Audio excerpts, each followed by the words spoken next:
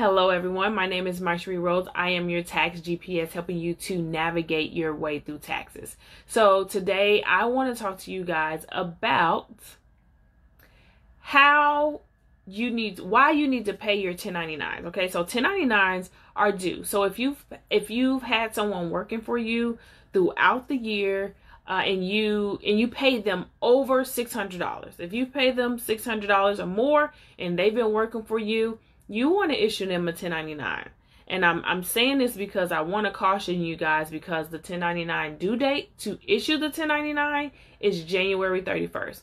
I don't want that to sneak up on you guys. So remember, you need to have your 1099s out to all of your independent contractors by January 31st. So an independent contractor is different from an employee. So if you're an employee, you have your employees and you've been paying your your uh, W 2 wages, you've already paid the taxes on that as you go. You have that taken care of.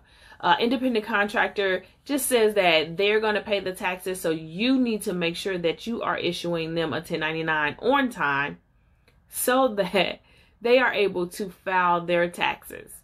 Um, so you don't want to uh, hold up anyone from filing their taxes. So I want you guys to start one get all the information. So from your independent contractor you can you can have them fill out a w9 if you haven't had them fill out the w9 already. So when you first start uh have a, a worker working for you that's a 1099 they should fill out a w9 if they haven't it's okay. You can still have them fill out the w9 but it's good to have one on file. The w9 basically gets the basic information from the tax person um from your independent contractor what you what they want and how you how they want you to turn their information into the IRS. So if you have not gotten the information you need, get the information from the W9. The W9 would include things like name, address, EFIN. If they have a business, if they're working under their social, you're going to put their social, where they want their tax return to go. You're going to get that information. So that's the first thing you need the you need the W9 or the information to put on your 1099. Then I want you guys to go in and, and look up how much money you paid them out. So when you find out how much money you paid them out, you're going to put that on your 1099. Hey, this is how much money I paid them. Uh, and I want you guys to get that out to them before January 31st. The issue is if you don't get it out before January 31st, you will have people who aren't able to file their taxes um, accordingly on time. And then, two, uh, you'll have penalties. You'll have penalties, and you don't want to pay unnecessary penalties. And then on top of that, we want to get you as a company want to get that money off of you. You want to say, "I hey IRS, I paid that person ten thousand dollars." So that's ten thousand dollars in expenses that I have that I need to transition from my company to my independent contractor. So paying your independent contractors are you know, like you just you just make sure you go ahead and do it so you can get those expenses off of you.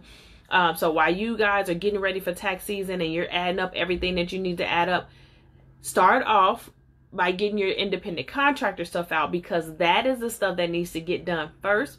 That is January 31st. That is right around the corner. That's why I really wanted to do this live. So you guys know that you needed to get that out. Uh, penalties for not filing an independent your uh, 1099 for your independent contractors can add up to uh, $270. So you do not want any unnecessary penalties. As I stated before, we don't want to pay the IRS. We don't want to. You like you want to keep that money. So what's an extra $270 that you can put in your pocket? A lot. Um, so go ahead and get those 1099s done.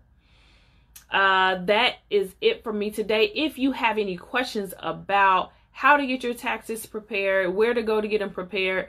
Um, definitely book a 15 minute consultation for me front for me um, with me.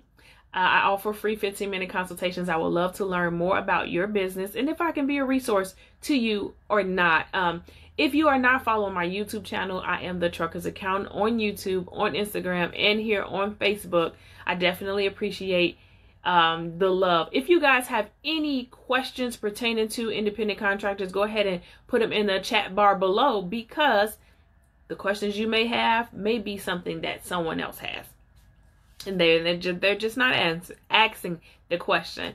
So I'm going to head out and um, go ahead and get to this taxes because it is it is ramping up. But I definitely want to make sure that I'm hopping up, hopping on Facebook or Instagram and giving you guys valuable content, valuable information that you need real time during the tax season. Okay, so until next time, my name is Mysherri Rhodes. I'm your tax GPS helping you to navigate your way through taxes.